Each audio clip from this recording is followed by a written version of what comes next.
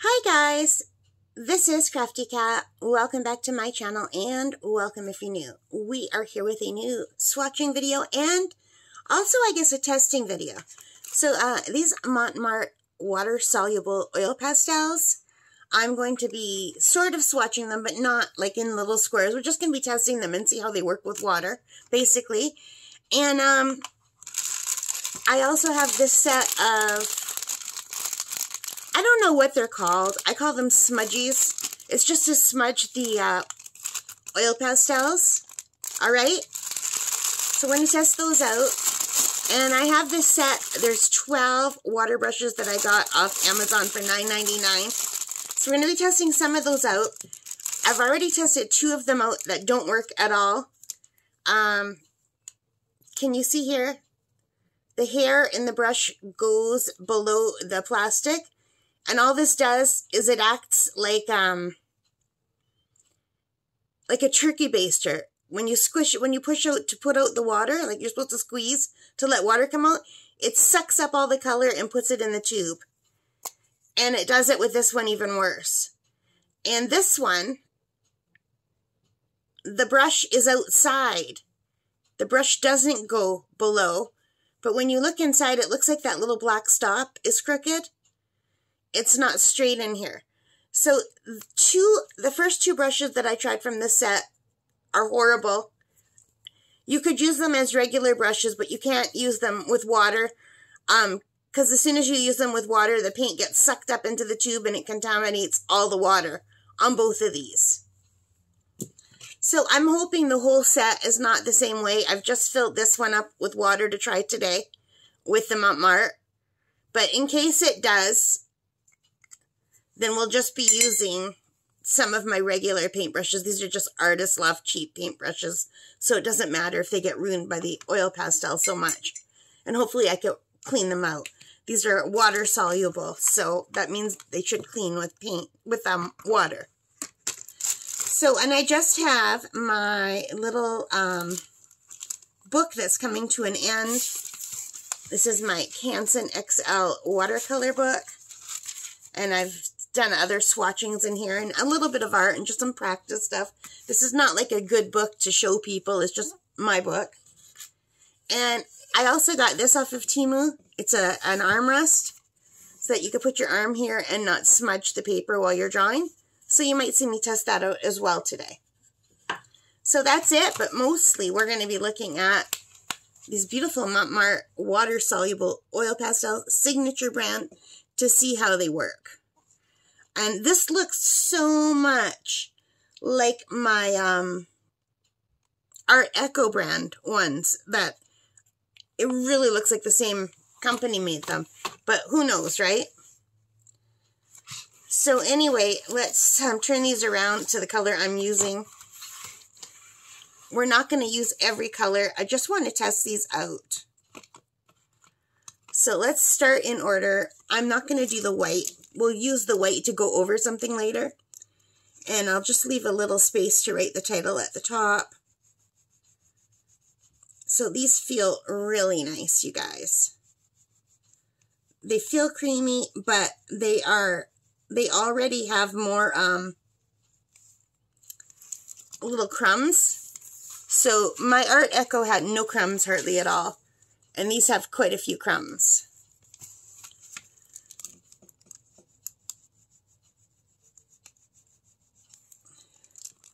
So we'll just color some of these swatches.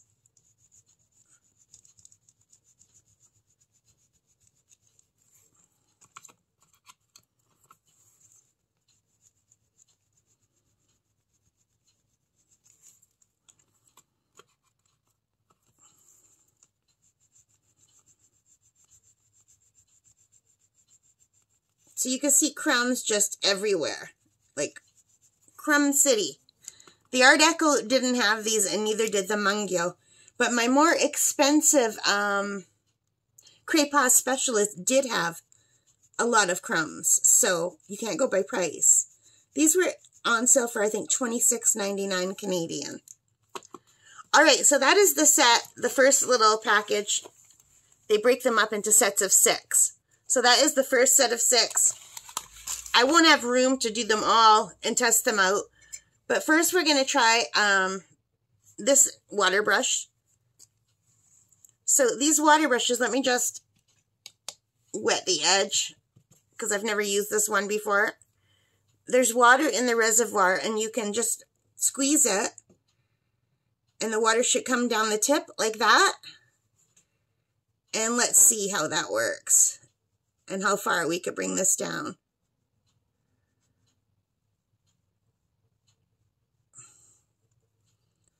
So I don't know if I have too much water or what, but it's totally lifting the color. I mean, it is spreading it.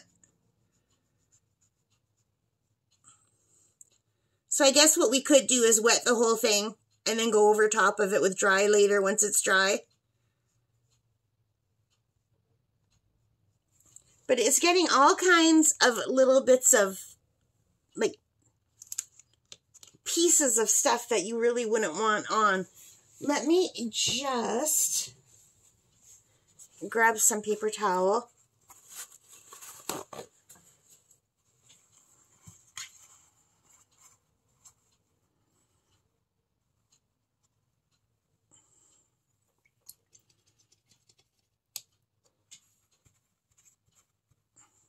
All right, now let's try this next color.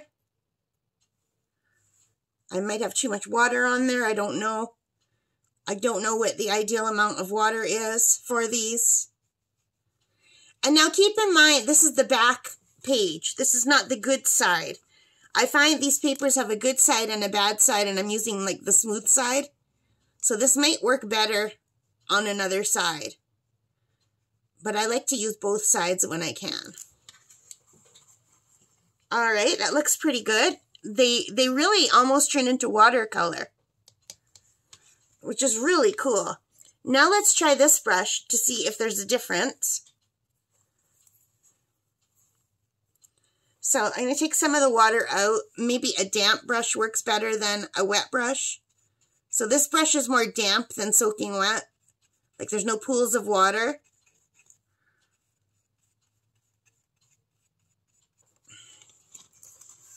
And can you see? It totally is um, working really well. So this brush works just as well, if not better. Let me get some backup light here. I don't know if it's bright enough. I don't have much light in my art room, unfortunately. It doesn't uh, have the window that faces the light. It has the window that faces away from where the sun is. So I only get sun in this room right as the sun is setting, unfortunately. I think I'm going to switch to this brush. I think it works better with this brush.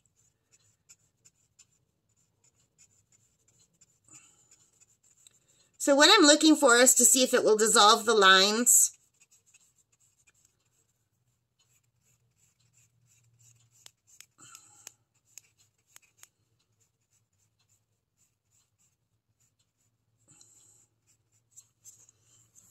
And that looks really nice.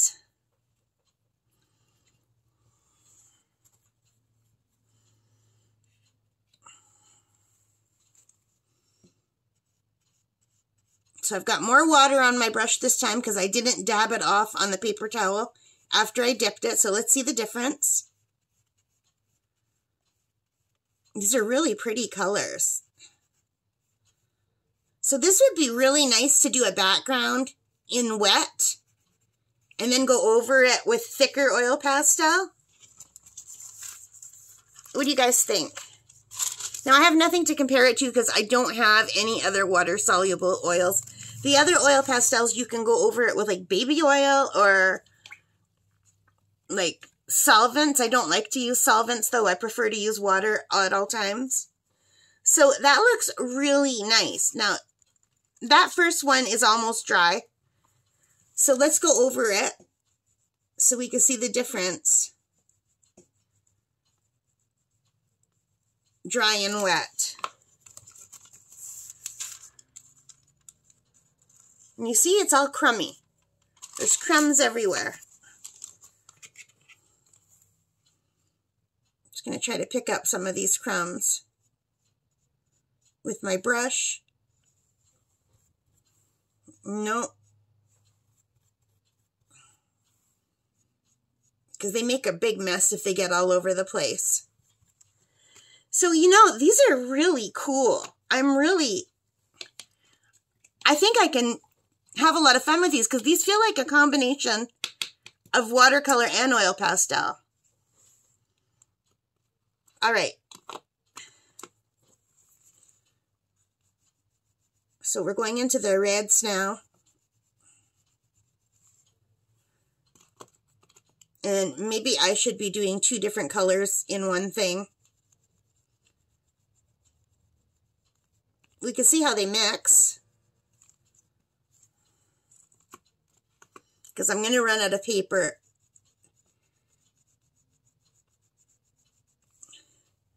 So here, I'll just show you one close-up. It says Mont Marte Water Soluble Oil Pastel Scarlet but it doesn't give you an idea of whether are these are color fast or anything, and I highly doubt that they are. That's a beautiful color. What color is that? Crimson. I like that. It's more like on a pinky purple side of crimson. Here's a pinky color. And these colors make me very happy. Pink.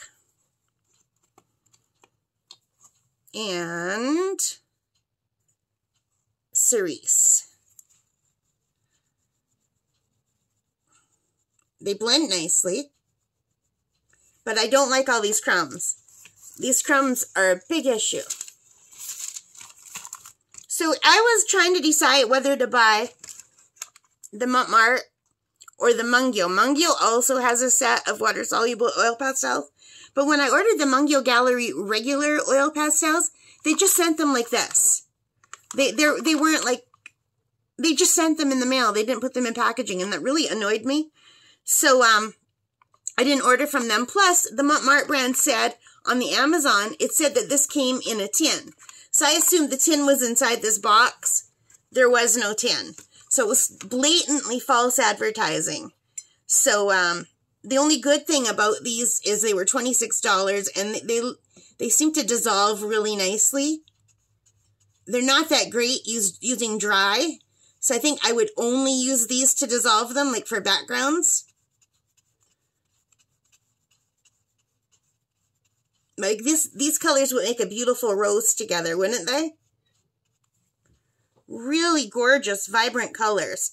So I, I don't regret, I, I went right to the pink ones because those are my favorite colors. We still have to do these.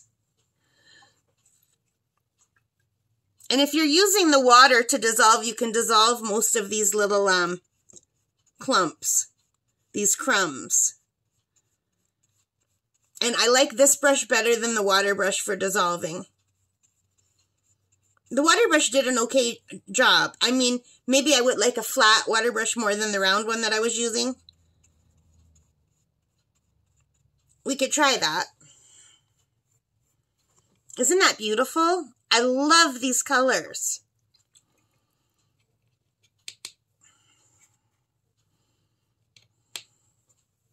So I have the water off camera. I couldn't fit everything on the camera. So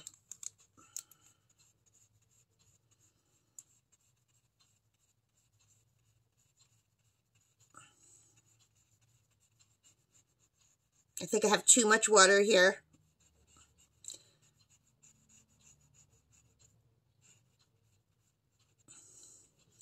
Yeah, so the crumbs don't matter. If you use a lot of water, you can totally dissolve the crumbs. And I could go all the way down and I could drag this color quite far. Which is really nice. So now we've done two of the rows. We've done the first like little square and the second. And the next one are all the purples and then leading into blue.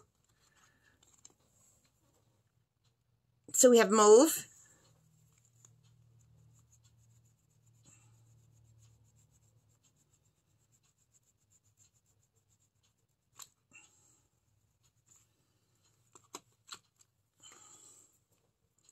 And what color is this? I can't read that color. Can you guys see it? It's some sort of a purple.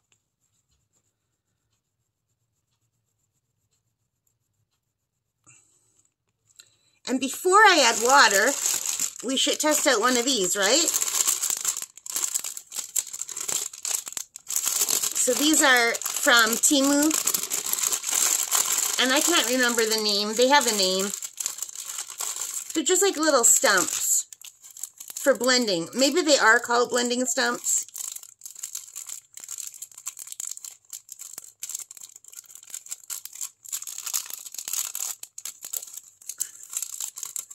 So let me just grab one out.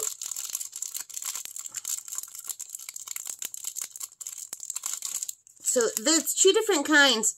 There's this kind that seem to be hollow and looks like they'd be really easy to make just by rolling paper. And the other kind that don't have these ripples on the top and they're firmer. So we'll try this one first.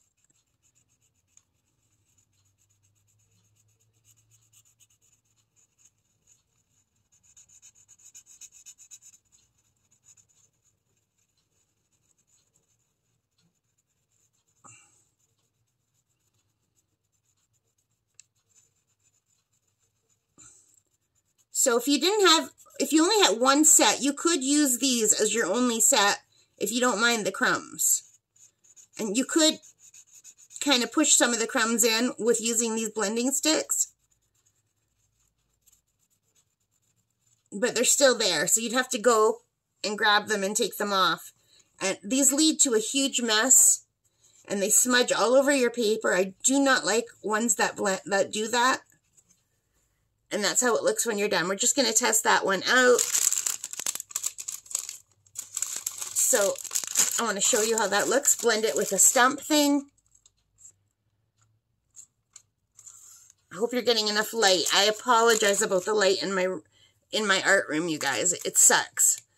I have a headlamp that I use for um, camping. I should wear my headlamp while I'm working in here. It's really bright. But I think then we get a big glare. Let's just go over this with water now. These are really fun to work with. I like it. I wasn't going to buy any more oil pastels, but I didn't even know these existed. We're at the end of the page. Let's see how far we could go over, just for fun. So you could spread the color quite far, way further than the edge of the page that I'm yeah, this is really nice. These are like having watercolors and oil pastels all in one go.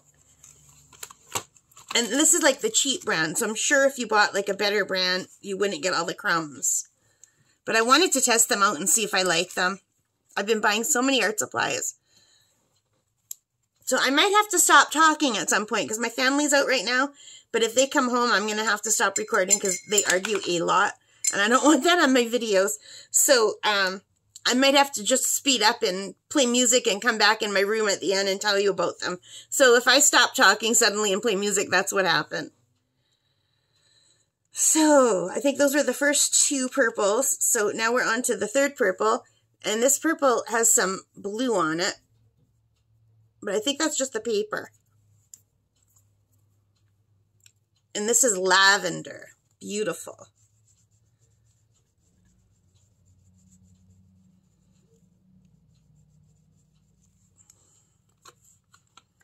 I'll try to do smaller swatches. And this is purple. I call all of these purple. Okay, they're home. I have to stop talking. I knew that was going to happen.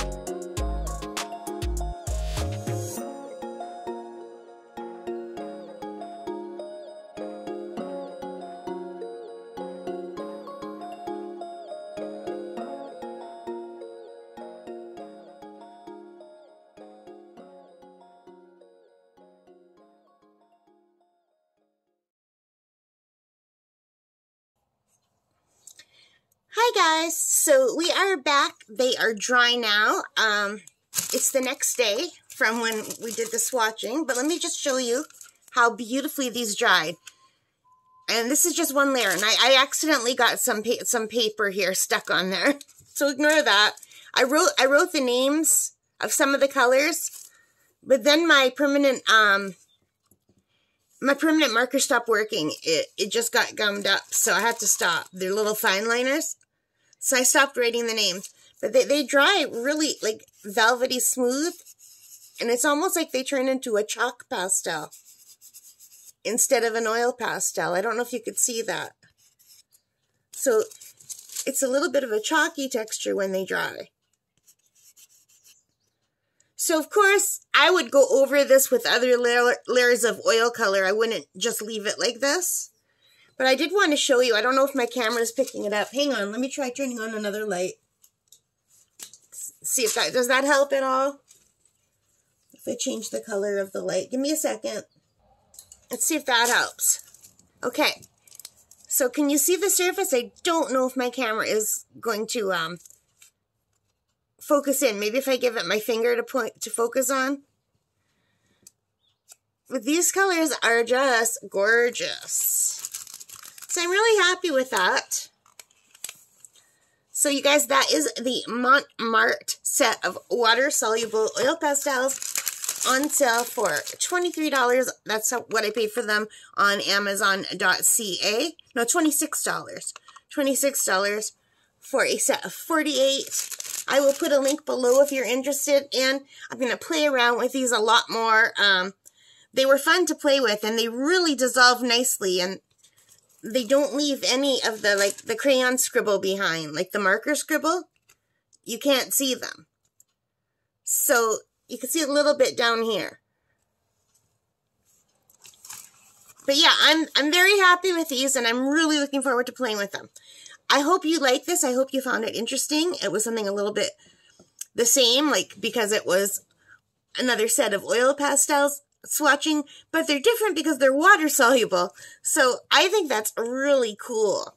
And there's also water soluble crayons you can get that I would really like to try. So I can't afford to order any more right now, but and I still have a lot more unboxings to do for you guys. Wait till you see what I bought. But um, yeah, I have to wait for the crayons, but I do want to try those too.